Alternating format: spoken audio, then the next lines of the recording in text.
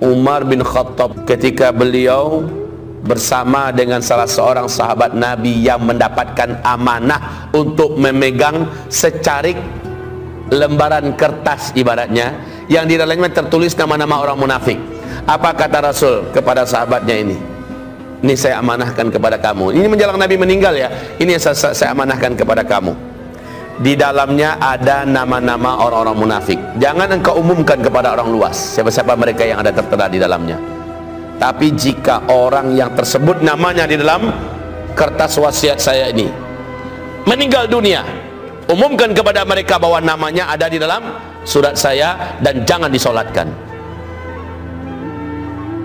Jangan dikuburkan di pekuburan orang-orang Islam. Masya Allah. Umar bin Khattab ada dekat itu, ikut mendengarkan. Kenapa bukan ke tangan Umar diserahkan Nabi? Maka gelisahlah Umar mulai hari itu. Kenapa Nabi bukan ke tangan saya?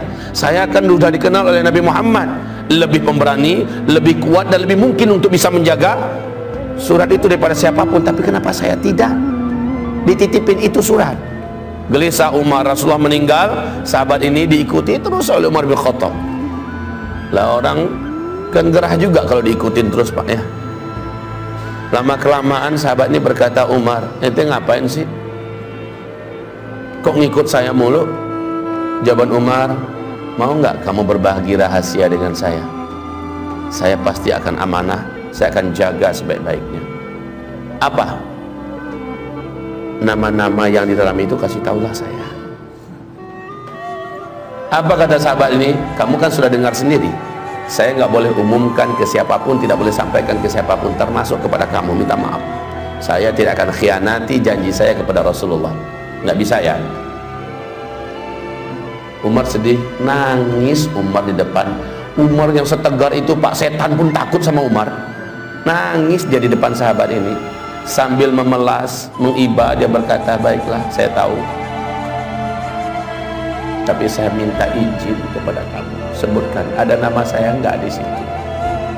Itu ternyata dimintanya ada nama saya enggak di situ. Kenapa Rasulullah tidak menitipkan ke saya? Ketika Umar mendengar bahwa namanya tidak ada di dalam surat itu barulah dia lega apa? Sehingga Ibnu Abi Mulaikah di dalam hadis sahih Bukhari berkata, saya sudah berjumpa dengan 30 orang sahabat Nabi yang masih hidup. Kata Ibnu Abi Mulaikah, seluruh mereka saya melihat ada empat kesamaan. Seluruh mereka ada empat kesamaan. Satu, seluruh para sahabat itu menyangka iman mereka masih lemah dua seluruh sahabat Nabi menyangka amalnya masih sangat sedikit dan yang sedikit itu pun belum tentu Allah sudah pasti terima. Masya Allah ya Pak ya.